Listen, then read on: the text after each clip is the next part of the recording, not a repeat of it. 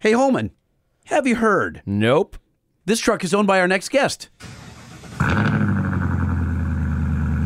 That, my friend, is a 22 Ford F 250 with a Godzilla 7.3, and it is on the ground. And I heard that's not all. The Truck Show.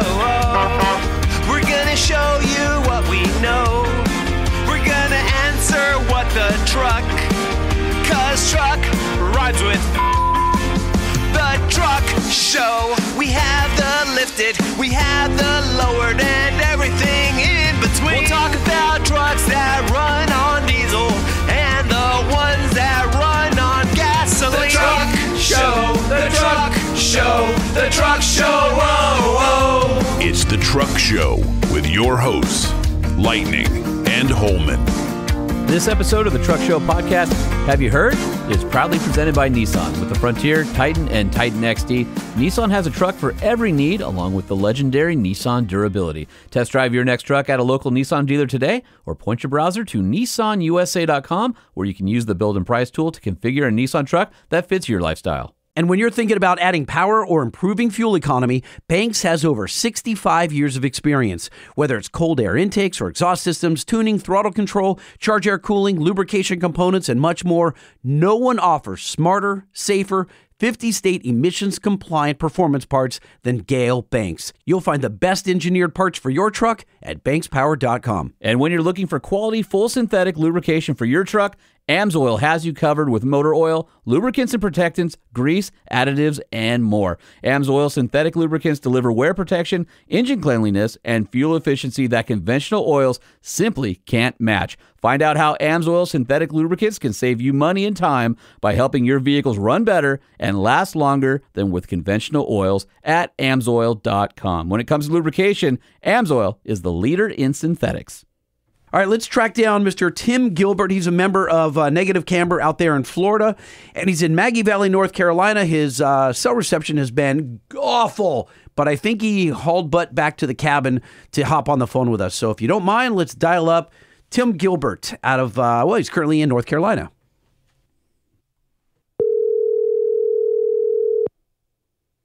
Hello, Hey, is this Mr. Tim Gilbert? It's Lightning and Holman Truck Show Podcast. What's happening? It is I. Now, why do you sound so beaten down? Aren't you in Maggie Valley at uh, the uh, Mini Trucking Nationals? I am at the Mini Truck Nationals, the Super Bowl of mini trucks. He found out that his truck was too giant to be considered a mini truck. Well, don't feels- spoil it. Don't he feels spoil it. defeated now. No, no, no, no. No one knows what we're talking about yet. Do- Right.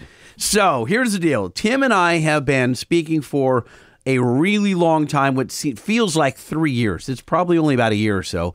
Um, when he divulged the news that he would be buying a tw- either 22 or 23 Ford F 250 with a 7.3 liter gas engine, he would be basically gutting it and bagging it and putting it on the ground with a new chassis. I thought that's kind of wild. You're going to make a full size truck look like a mini. And that's exactly what he intended to do. Sent him a couple parts and he's been like leaking me photos and it looks amazing. And apparently, you just drove this truck after like just days of being completed.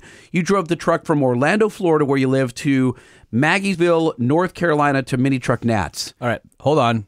Help me out here.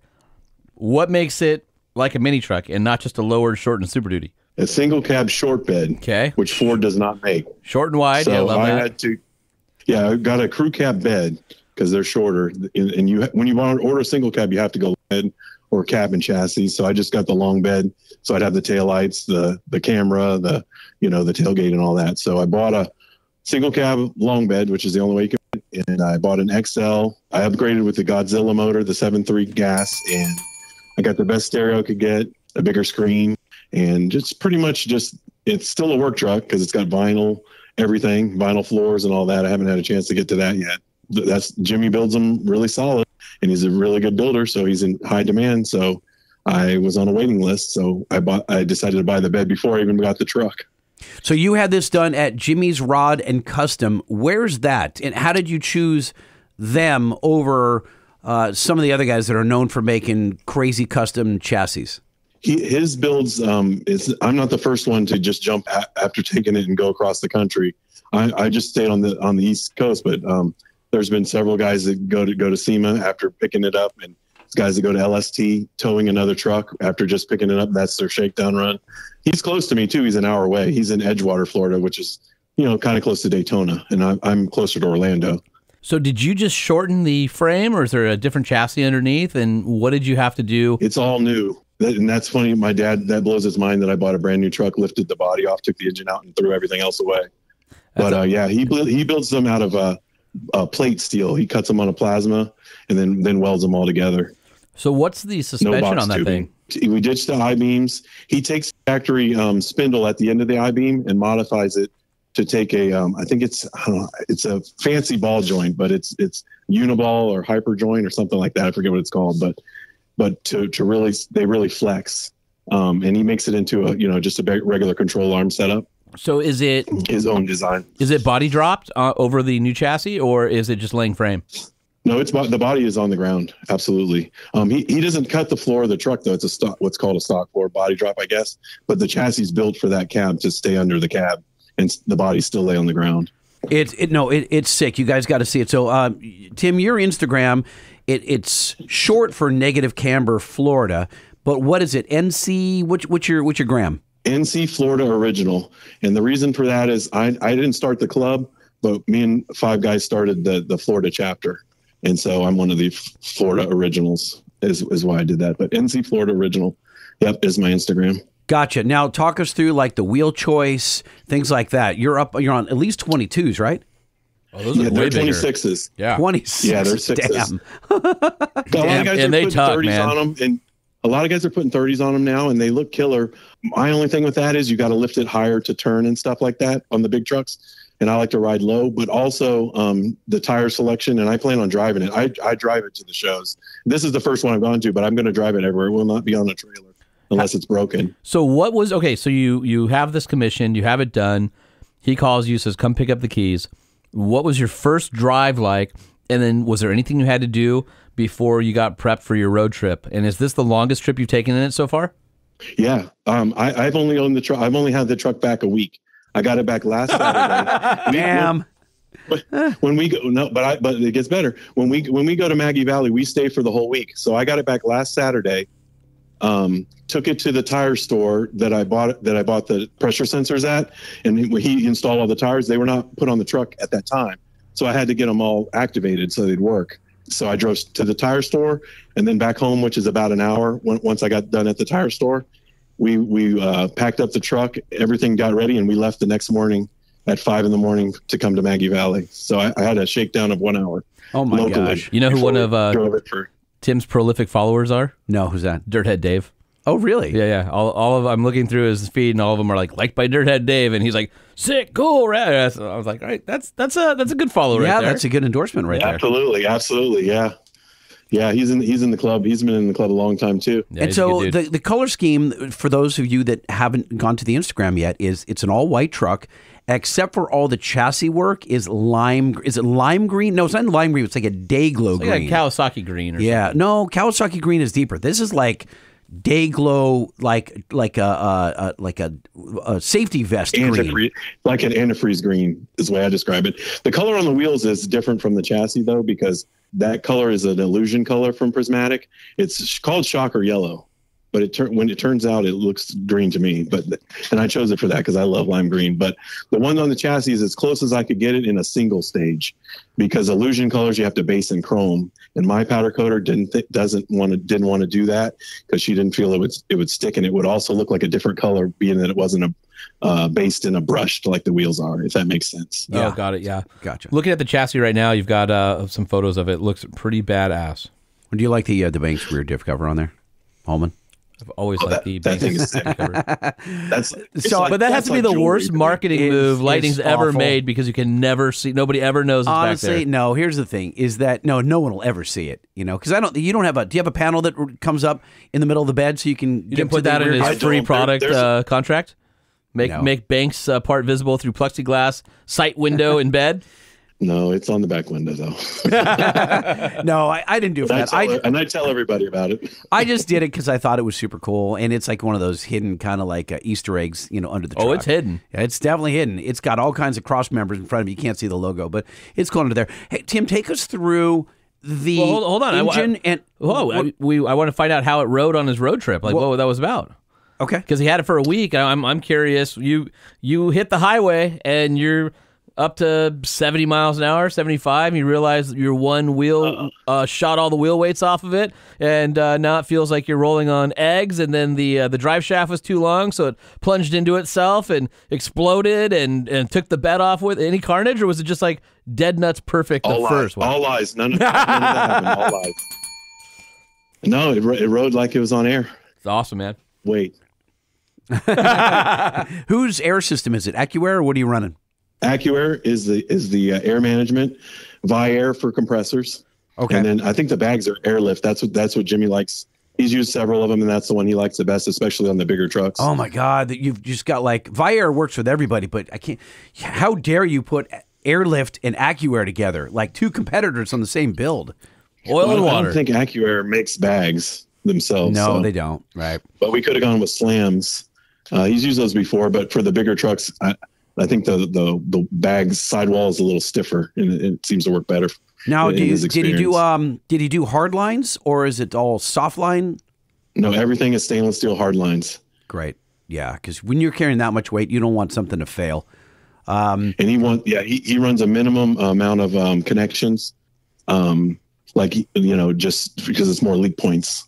How does he get the engine? Like, where does he have to reposition the engine in order to slam the truck that far? Because typically with that seven three, it's it's out the bottom un, between the frame rails, right? I mean, so you'd, Well, you'd lay you got- the you'd lay yeah. the engine out on the ground. But you got to remember, he's doing a different chassis. Number one and number two, they have the engine rides higher in the chassis, the stock chassis anyway, because there's a solid axle. It needs up travel. and same with the I beam. Ah, so, solid axle. so I think you can drop the engine in the new one and still fit it under the hood and not scrape the ground because you're not worried about up travel with the A arms, right, Tim? The engine does sit higher in there, and and I eventually I wanted to put a supercharger on it, but I don't know if we'll be able to do that without redoing the cowl a little bit. But that may be a possibility. But it does sit a little bit higher because the the thing that hung that was in the way was not the motor so much as that big uh, ten speed. Yeah, Oh, that thing's yeah. Massive. it high enough. The floor hasn't been touched, but he had to raise the uh, the tunnel. Uh, I think five inches is what he told me. That's a huge The tunnel. transmission tunnel. yeah, yeah, Yeah. absolutely. God, the ten speed. Yeah, that's a that's a big boy under there. And And so I have the bench seat that's the 40 20 uh, 40 and we were able to keep all that because I wanted the option to, to be able to sit three across if I wanted to. That's awesome. total There's traditional not, activities. Dude, there's not enough bench seats in the world. no, There's just literally like there's the. I love a good bench seat in a regular cab truck. It's the funny that he's way keeping God it real. Like he could do it all so like super modern, but there's just touches that are like, nope, I'm keeping this old school. It's the modern tech, but it's the old school feel. It's this interesting thing The he's vibes. trying to pull off. The vibe yeah, the he's pulling vibes off. for sure. So what about all the wiring and all that stuff? Like pulling it off the chassis, it's got plastic tabs that hold it in and everywhere, and then you've got like it had to be a rat's nest coming off and then putting it back in. Like that had to just be a challenge. Funny you say rat's nest. Actually, waiting waiting for the um, we have we have storms in uh, in in, uh, in Central Florida, you know, hurricanes and whatnot. So one of the hurricanes came through wh- while I was waiting my turn. I had the I just had the truck. I bought it in 21. It's a 22, and uh, and he didn't take it in until October. Uh, last year and 23 to actually bring the truck in. So, anyways, um, it wasn't rats, but squirrels got in and ate my wiring harness in my brand new truck. So Oh. that that's a big every once in a problem. yeah, Oh, yeah. man. That so that's a big being a problem. long bed, I couldn't fit it in my garage. Exactly, exactly.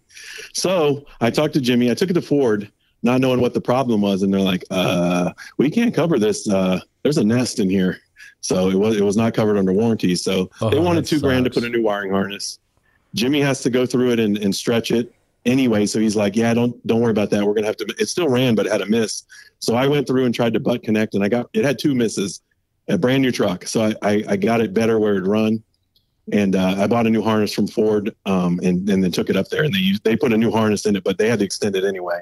So anyway, all that's taken care of. But they they built a whole new wiring harness, and put it. They usually will stretch and, and redo the factory stuff. Gotcha. Is God, do. it's Put it in just so new loom. much work. It's just so much work to do this to a truck.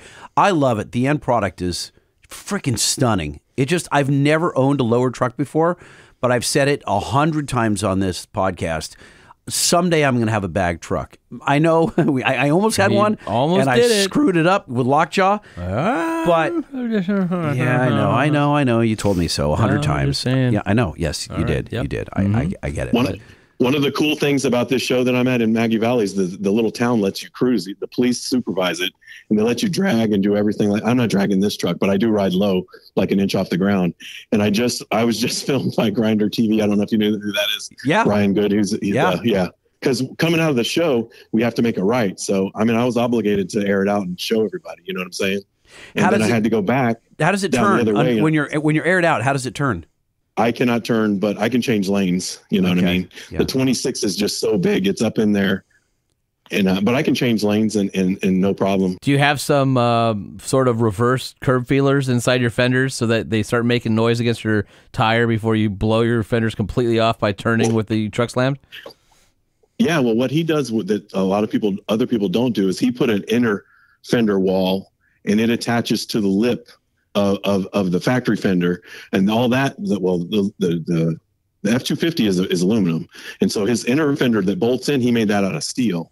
And it's all um, bed lined. So if you touch that, I mean, you'd have to really want to rip the fender off to really. To, if you're listening, you'll hear it touch that first. You know what I mean? Smart. So the tire's going to touch first, and not the wheel, not not the rim, because that would be catastrophic. Okay, all right. Yeah, but it's not going to rip the fender off. Like if you had that little edge on the f- a fender only, you know, you, you could take the fender with it or cut a tire. This is all. I mean, I, I don't know if I'm explaining it right, but the way it meets on the outside, there's that on the inside, and then they're then they're uh, attached together. Yeah, screws. so, it, it's got an inner liner, but it's rolled like you would with like a uh, a European sports car or something. Yeah, you roll that. lip correct. so it's, it's, rolled. nice it's rolled to the aluminum fender. Exactly. Got it. Okay. Yep. Yeah, super cool. Okay. So it took a couple years, like what, a year and a half to get this thing done? Two years to complete the build? Well, including waiting, but I, I just dropped it off in October, so so Oh. really six months in the shop. Oh, okay. It's just okay. a waiting list, really. I bought the truck ahead of time because you know we had that thing where the, where we couldn't get those things and everything was you know the um Oh, the everything was in short supply. Yeah, yeah, Yes, yep, yep, yep. yes, yes, that thing. So, So the the then- thing of which we will not mention, The lightning. thing, right? We dare not speak its name. that's right. Yeah.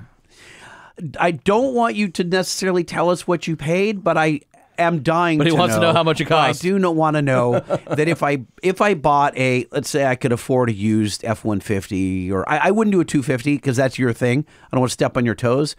But if I got like an F one fifty or something like that, what do you think a ballpark is for a new chassis to lay it out beautifully like you did, where it's an actual it could be a daily driver for me? I could have bought your um your TRX for sure, And then how many other cars also? and I, and I and I have no interior and I'm done. But I I ain't mad. I wouldn't trade it for a Corvette, so it's all good. Yeah. Oh, that's it's cool.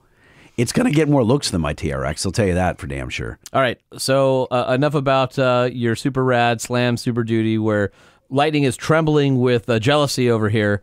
Uh, we have to know about the mini truck nats. What like what what's the show like this year? What's out there? What are you seeing? What are the trends that are happening? Because we haven't. You know, we always joke that everybody who's on the show somehow touched mini trucks at some point in their automotive life, career, you know, hobby, whatever.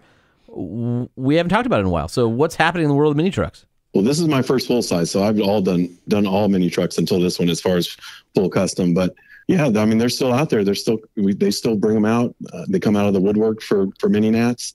People debut here, and I was lucky enough to get. I've I've tried to debut at LST, you know, whatever, and it wasn't done. I was just like, I, the chips fall where they may. When it's done, it's done, you know. And so this is where it, it ended up. They don't let a whole lot of full sizes in there, but mine was chosen on a on a rendering. Luckily, the guy Wow. that puts on the show, That's Jason rare. Bell, there it's it's invitation only. Well, not invitation only, but you submit and then they choose you because they ha- they only have 750. I think he could easily put double that in there if they had the space, but 750 is the number that they have, and so so they they have to pick pick and choose. But there's way more than that that come here and cruise, and that's what it's that's almost better than the show. The show's great. He does a great job, but like I said, the town supports it. When you go into the restaurants and stuff, they're like, "We're glad you're here," and everything. It's just it's just awesome. I tried to get Jay to come. I was telling him, but he's I think he had other too many other conflicts. But it'd be cool for you guys to, to come out to it one time. I think it'd be awesome. And I went to Showfest back in the day. I went to Texas Heat Wave back in the day. I've been to a lot of good shows. oh man, the but memory. this is it. this is the Super Bowl, in No. my opinion. So I that- mean, Heat Wave back in the day was epic, Well, and the thing Showfest is, but hold on a second. was uh, un. I know, but Showfest. So there was a lot of TNA that happened back in those days, I- right? it was This is more different. lot of family friendly. I'm not. We're all I'm, grown I'm ups older now. So this is Yeah. definitely more. This is definitely more family friendly. But I, at the as far as the cruising, back then they used to let you drag and everything at Showfest, and that was the that was the cool part about that. Until great. until they shut it shut it down at a certain point. But here they just let you do it all night if you want. The only thing they don't like is burnouts and uh, standing in the middle of the street taking pictures. You got to stand on the side. They made a few rules because of the all the takeover stuff. I guess this Yeah, year. yeah. But I haven't really smart. noticed the difference to be honest. They were reasonable. Whatever they said was reasonable, and they still let you drag. That's just the burnout thing. But So one of the questions I think that Holman had that I do as well, and that's what is the state of mini trucking today? And not at the mini truck nats. And, and thank you for bringing us up to speed on that event. But like, how many guys are doing what you're doing? Both on the you've done it kind of at the highest level, right? The only thing above you is taking like a brand new Duramax or something and slamming that out. You know, now you're at like 200 grand or something. I oh. w- I would assume, right? yeah, there's yeah, there's guys doing that for sure. Oh yeah, yeah. We've seen you know from Fat Fabs, and his builds are all big, big bucks, right? But is there another generation that we're not seeing that are taking Nissans, Toyotas, new ones, and making the modern mini trucks, or is it Is there only, such a thing as a modern mini or, truck? or is it only yesteryear? I've seen several Mavericks out here, but a buddy of mine, Scott, has a, a Maverick that's all-wheel drive that's bagged. He didn't bring it here because he's he has so many mini trucks he has to choose because he has quite a few mini trucks, so he didn't bring that here. But he he has a Mazda with an LS in it, and his wife has a um uh Geo Tracker that's on uh bagged on twenties, and you know. Geo track. Geo trackers are rad. I don't care. I don't care who you are. It's a, it's a Yeah, they're twenty-inch race lines. Yeah, it's bitching. Rock on, people. That's hilarious. Is it a bunch of guys that are our age just like rekindling the past, re- reliving the past, or are you There's- seeing? Do you think there will be? Because look, you could take a brand Is new there Frontier. generation coming up behind you? Yeah. There, there are some, but it looks like to me that they're going for the older stuff and trying to trying to find find the older stuff and still still build true mini trucks. You know, I don't I don't think they've warmed up to the plus plus even a Maverick's twenty five grand. You know the the base base base. Yeah, they raised it And a five of the- five now. Kids- Right, the hybrid one is now the premium one. They flip flopped it, Yeah, but yeah, it's expensive. I kind of dig them, but you know, whatever. But uh, I don't think the young people are into it yet. Just I think more more the cost, the in- cost of entry. Because when I got into it, that's because, why I got into it. Is because it was cheap. I was in high school, and I, I had a Nissan Hardbody. That was my first one. My mom co-signed, and I bought a brand new one. Damn. And it cost you what, like 6,900 bucks or six- something like six that. grand, seven grand? Nah, I think it was eighty two fifty if I remember right. All right, the payment okay. was one one eighty eight. Oh, that's a nice one. and this was a 90 so at that time they came with carpet still crank windows and like i said just ac is really the only option i got but uh, yeah that was a fun one my, i told my my mom i was going to get a sunroof put in it and i and i took it to my buddy's shop and had a Targa top cut in it Oh no! that's not a sunroof oh, I bet she was real happy after co-signing that loan. Yeah no she was not As it turns out, that's uh, that's not factual or accurate. Where is that No. hard body today? uh, long gone You mean you have, Long you have no idea I who has it? I went, it went through several iterations. When I first did it in high school, it was just static as low as he could, ripping reflectors off and that type of thing. Uh, then I decided it would be a nice idea to put hydraulics on it, and this this was still my only transportation. but uh, Oh man! then uh, then after that, I still owned that. When the, when the hydraulics seemed less practical, I bought an Astro van, and then uh, that was just static, and that's what I got in camber with. Painted it uh, banana pearl, and then I did a to- turbo Toyota uh, that was body dropped. At that time, we, you did you cut the floor, so I did a, a four inch body drop on that. It was ridiculous with uh, no headroom. But that one I put a rag top in. A few years ago, I I, I was ha- feeling nostalgic for that that same Toyota that I never finished. So I bought uh, another one. It was not turbo because those are very hard to find, but it was the same truck, only long bed. I'm not I'm too keen on long beds generally, but uh, the extra cab long bed didn't look too bad. and uh, so I went with it. And then that one I body dropped, but left it static. So I had 17 inch Budnik uh, switchblades on it, and it would it, it- we narrowed the suspension enough that I could steer lock to lock with it tucking. Dude, And then- Budniks were the and wheel so- for a I while. know. I haven't even heard that. I haven't was heard that name in That's forever. So long, yeah. Those and like Ronals, and I know Enkei's still around, but like Enki was the thing I back had then. I had Ronals on it Lloyds. first because when I was in high school, the Ronal R9 was the wheel I lusted after. Sure. So I had those on it first, and then I saw on Craigslist, believe it or not, or maybe it was Marketplace probably at that time, a set of uh, a set of Budnik switchblades, and Budnik does not reproduce the the classics. At least at that time they didn't. So I I ran them that the way they I had them re-drilled because they were drilled for an Astro and it had a center cap, so I could dual drill it and you wouldn't see it. And uh, then I ran them for that. They were on an Astro, so the offset was a little deeper than I would have liked. So eventually, I ended up sending them out to uh, Chris Coddington, and he regrouped uh, the Budniks. He, he'll, he doesn't care; he'll do whatever wheel, and, and he made them more positive. And I narrowed them uh, to seven inches. Who just bought uh, Mini Truckin' Mag, or what's the magazine that uh, is now getting going? Like they bought the rights to it, and they're, and they're resurfacing the magazine. Yeah, they, they actually debuted the first copy here. I have a subscription, but I- so I haven't got mine. But they brought a whole bunch here, and I flipped through it. Um, yeah, Logan has bought has bought that, and they're they're reproducing it. It's it's subs- subscription only. In the first year, I think it's three issues for twenty five bucks, and it's on really nice paper, really thick. I don't know. It's like a coffee table mag. It's really nice. It's way, not newspaper. way you got to do it these of the- days. it's, it's it's that's a premium price for a magazine, but I, I still like the magazines. I still like to hold in my hand and look at it. You know, I don't know. All right. Well, listen, you got uh, is it one more day of Maggie Valley in you? Well, I'm gonna go back out there and cruise some more um, tonight. That's what they do, and it'll probably be till midnight. I don't know. I'm old, so I don't know if I'll stay out that long, but it's it's a good time. You got the family with you, or you uh, solo? Uh, no, my wife goes everywhere with me. She's my ride or die. She's the one that uh, the reason I can do all this. It's awesome when you have a wife who will let you uh, go after your hobbies and enjoy them.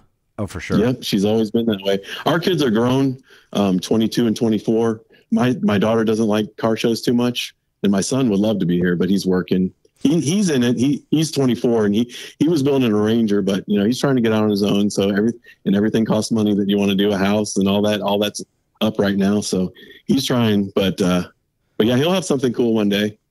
Do you, do you have friends that are like, you know, hey Tim, are you still into mini trucks? Like, isn't that a kid thing? Do you ever get any of that Oh, yeah. pushback? Oh yeah, like at the high school reunion and people that I went to high school with. Yeah. Oh yeah. I don't care. Have you told uh, your daughter yet that she's no longer part of your family? No, that's fine. All right. Well, listen, Tim, get back out to uh, the action. I'm kind of disappointed you were inside in your cabin because it's nice and quiet in there. I was hoping to have you out on the street, like with all the, the hoopla and the breaking Botts' dots off the streets and stuff. But uh, you didn't have any. when we tried to call, call you earlier, you didn't have any reception. So uh, I appreciate you stepping back into the cabin to get on the phone with us. And um, No, I love it. I've wanted to I talk to, to you. every all the time. Thank you very much. We appreciate that because, like, you're keeping this alive, and you know you've heard us talk about this a bunch. Like, it all comes back to mini trucking. Obviously, in this age group, right? It's like it- you either were a mini trucker or your best friend was a mini trucker. Like, it just touches everyone, and it's so rad that you're keeping this alive. And and the new rig is amazing. An F two fifty on the ground, you got to see it. So, uh, give us that Instagram one more time. NC Florida original. NC Florida original, awesome. Dude, thanks for coming on the show, and uh, we really appreciate you uh, listening for all these years. I don't know why you keep doing that, but uh, hopefully, us having you on was a little bit of a payback. Awesome. I appreciate it. You got it. All right. Keep have fun. We'll all right, talk brother. to you. Thank you. All right. Later. Later. The Truck Show Podcast is a production of Truck Famous LLC. This podcast was created by Sean Holman and Jay Tillis with production elements by DJ Omar Khan. If you like what you've heard, please open your Apple Podcast or Spotify app and give us a five star rating. And if you're a fan, there's no better way to show your support than by patronizing our sponsors. All the money I get from my paychecks, that all goes to my truck, so can't really help it. Kind of like a disease. Huh? yeah,